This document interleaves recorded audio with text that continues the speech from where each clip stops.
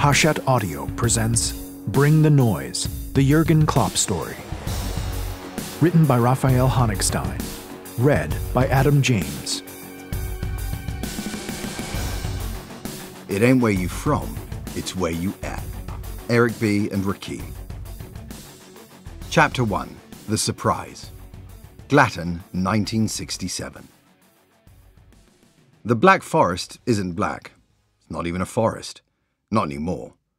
1800 years ago, the wild Germanic tribes of the Alemanni first tore through the massed gloom that had so scared the Romans to make space for cattle and villages.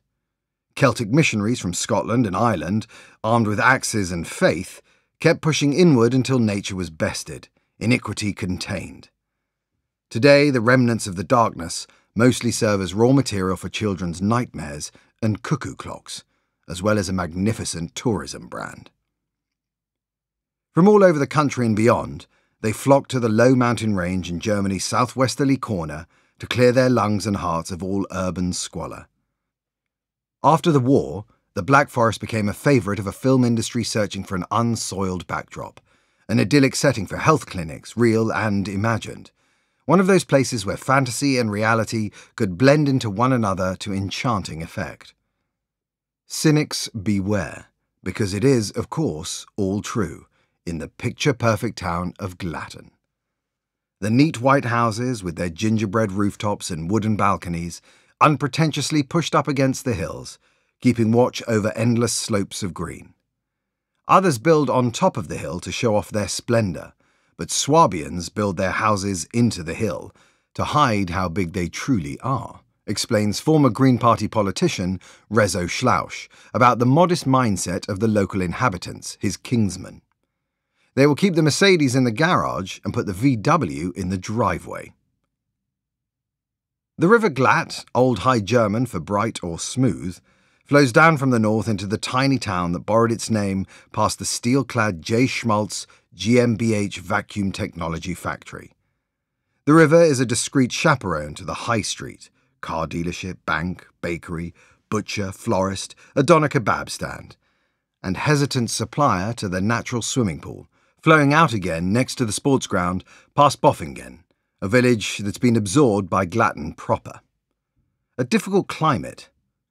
There's a lot of rain, makes this a paradise won, not given. They grow grass, corn, piglets, and people of fearsome resolve and frugality here. An extreme type of Germans, harder than the hard-working, unwilling to give themselves an inch. Schaffe, schaffe, Hausel Bau. You work, work, then build a house. That's how the famous saying in this region goes. To toil day and night is a big part of being Swabian, says Schlauch. That has its roots in history, as has the Swabians' reputation for being innovative. In other regions, the firstborn would inherit their parents' farms, but in Swabia, the land was partitioned equitably among the children. The farmland got smaller and smaller until it was no longer viable, so the descendants were forced to take up other jobs. Many of them became inventors and tuftler, people looking to find new solutions to old problems. Local custom demands that everything must be done studiously, seriously, including fun. One of the 14 active social clubs in Glatten is dedicated to carnival. Another one brings together friends of the German Shepherd dog. Barnsline, a little street dotted with lumps of clay left behind by tractors, and then it's here, right next to a field, is Old Reich's Haarstubel, a petite hair salon, discreet meeting place, outlet for charity socks hand knitted by one of Reich's friends. The proceeds go towards buying shoes for the homeless. Isolde was born in Glatten in 1962, the younger of two sisters. Her father, Norbert, a talented goalkeeper, was a sport fanatic. Thwarted by a serious minded father, he insisted Norbert should have a proper vocation, not try his hand at becoming a football pro, Reich says. His career was over before it really begun. His sporting ambitions, however, were undiminished. He played amateur football, handball, and tennis, and tried to pass on his passion to his family. When his wife Elizabeth and eldest daughter Stephanie showed no inclination to take up any game, Norbert's hopes centred on Isolde. Before her birth, in my album of baby photos, he wrote, Isolde, you should have been a boy, actually, she smiles. And after, I was the first girl in all of Glatten to go to football training. Norbert was her coach, his methods exacting and demanding. He took five year old Isolde to practice heading on the Ried Weissen football pitch next to the river, where an old heavy ball on a rope hung from a green iron bar. If her body positioning wasn't right or her arms were too high, Norbert sent her to run a lap around the pitch for punishment. He was tough but just, a man of principle, full of passion, Reich says. In the summer of 1967, her mother left the family home for a month. Elizabeth was heavily pregnant, and the risk of complications made it necessary to check into a clinic in Stuttgart, 80 minutes away to the northwest. The local hospital at Freudenstadt, just 8.5 kilometres up the road, wasn't equipped to perform caesareans. It was hard for Stephanie and Isolde to be without their mother for such a long time. We were promised. Mum will bring something amazing for you when she comes back. When Norbert and Elizabeth arrived at the house, however, they had a tiny baby in their arms screaming its head off. After an hour or so, the sisters wondered whether it could be taken back and exchanged for something different. A small, shrieking brother. What a lousy surprise! But Isolde soon realised that she'd be given much more than a second, annoyingly loud sibling that day. All my dad's sporting focus shifted immediately onto the boy. I was relieved from practicing headers with the pendulum, allowed to take up ballet and athletics instead. Jurgen's birth was my good fortune, really. He set me free. Chapter 2 Rose Monday, Zero Hour, Mainz, 2001. Christian Heidel loves the story so much, he's beginning to wonder if it's actually true. As a Mainzer, I could say, let's make this up.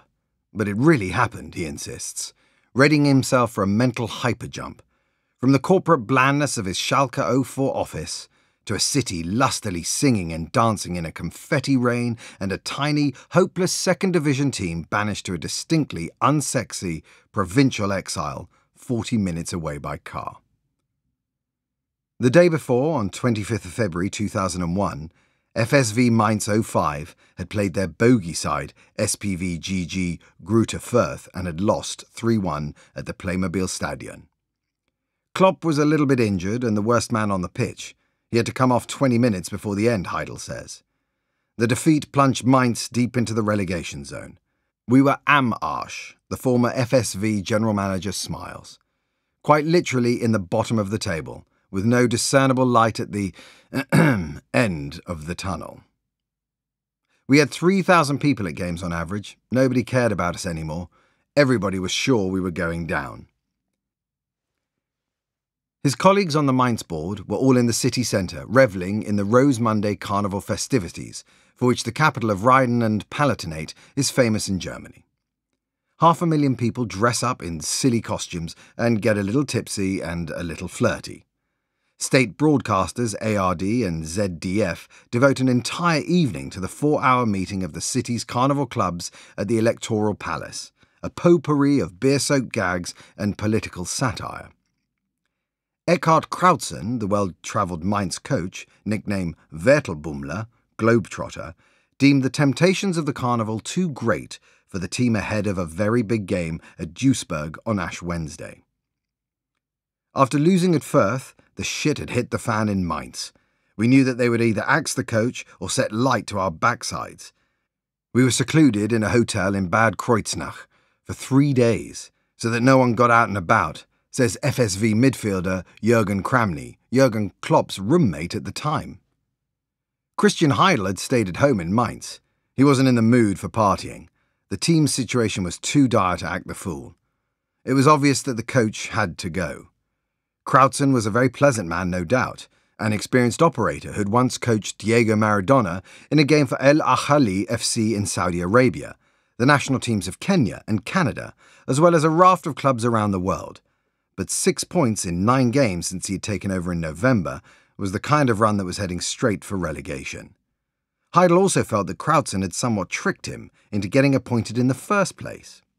His predecessor, the former Belgian international Rene Vandereycken, had been a gruff, monosyllabic coach whose refusal to communicate with players, board members, and officials was matched only by his reluctance to put forward a coherent playing system.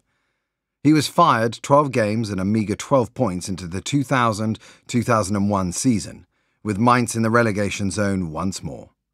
Heidel wanted someone in charge next who could re implement the successful back four zonal marking system that the former Mainz coach Wolfgang Frank had introduced six years earlier, a tactic seen as so modern and advanced at the time by Bundes. We hope you enjoyed this preview. To continue listening to this audiobook on Google Play Books, use the link in the video description.